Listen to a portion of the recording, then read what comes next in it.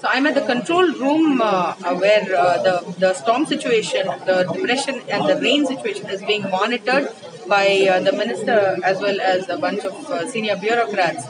Now I'm now joined by uh, Mr. Phanindra Reddy. He is uh, the the Commissioner for Relief Administration for Tamil Nadu, and he's the man at the focus. In fact, the center of all the efforts, relief efforts here in Tamil Nadu, sir. Um, how is, is there is there cause for concern? How well prepared are we? over the past few days, past few weeks, we have been acting proactively on the messages that have uh, come from IMD and we have sufficiently sensitized the district and and we've had uh, meetings with uh, multiple agencies and geared them up and the men and material have been mobilized and are in uh, place to meet any eventuality. I mean, we have already witnessed uh, extremely heavy rainfall in Nagapattinam and also in Tiruvallur and uh, uh, very heavy rainfall in about 12 stations and heavy rainfall in about 25 stations. And so far, uh, there have I mean the damages have been not very significant. They are very moderate, and uh, uh, we hope that uh, in the days to come, particularly today and tomorrow. Again, extremely heavy rainfall has been predicted for uh, the north coastal districts and the Chennai and surrounding the surrounding districts, and very heavy rainfall for uh, the surrounding uh, adjoining districts. And uh, there also they are sufficiently sensitized and they are geared up. All right. Now, uh, now you've spoken about the coastal districts, the northern districts, as well as uh, the delta districts. Now, uh, what is the plan as far as uh, you know waterlogging or flooding is concerned? Do, do you think we might see a repeat of the 2015 situation? Because that's what everyone's really talking about. You know, we don't see that kind of a situation basically because you know, since then you know there's been a lot of uh, effort at uh, acquiring information and processing and transmitting actionable uh, advice to the free functionaries.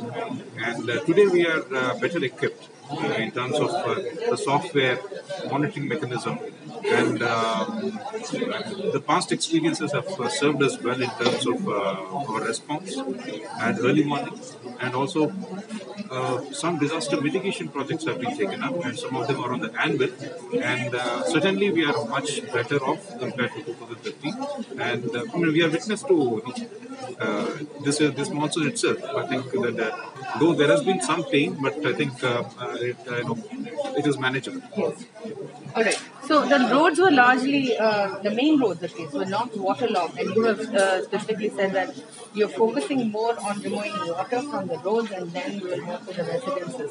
Uh, but there are issues in terms of you know residences also. I mean, there's lot of loss of property as well, right? I mean, maybe not so much loss of life this time, thankfully, but loss of property is there when water comes in. So, is there any uh, you know way that we're going to try and uh, mitigate this water entering the? If you see the map of the topography of Chennai, the northern portion and the southern portion are below the sea level and they are densely populated. Southern Chennai is expanding and multi-story buildings are coming up.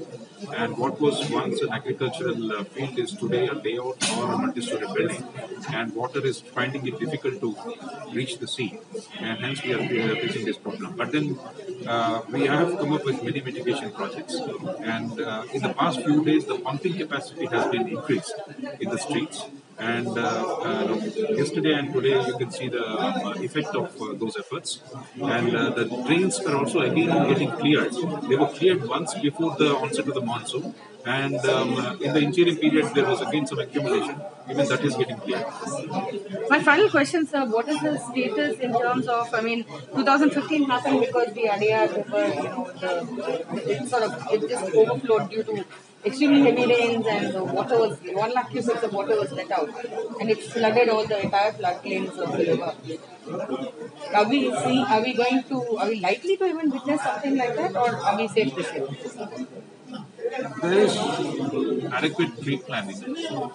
We have taken stock of uh, the storage in the reservoirs surrounding Chennai and uh, the catchment area, the possibility of uh, inflows into the river uh, or the uh, reservoirs because of the rains that have been predicted and the position of storage in the tanks.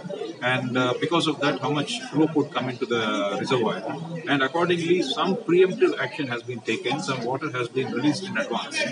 When at the highest level in the government, uh, this has been uh, discussed, and uh, it's a very conscious uh, decision by the government. And uh, the Water Resources Department has been asked to release water and keep a headroom so that in case we receive huge flows into the reservoirs, and simultaneously there is you know rain, heavy rain in the lower catchment areas, we have some headroom in the reservoirs to hold it for some time so that the river doesn't flood.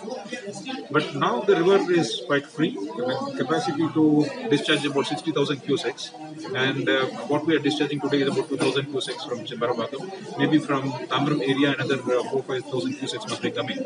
So it's in a safe position. Okay. That's really good to hear. My final question What is your message to the people who are living in all of the districts uh, which are on red alert at the moment? We, we, we have uh, seen in the past that it's very important that we do not uh, seek entertainment uh, on the streets when you have uh, this kind of a uh, situation.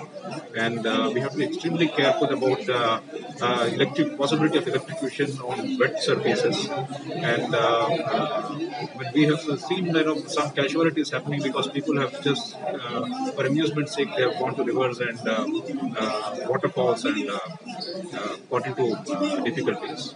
And they have to keep their property intact, but especially the documents they need to keep in uh, safe places.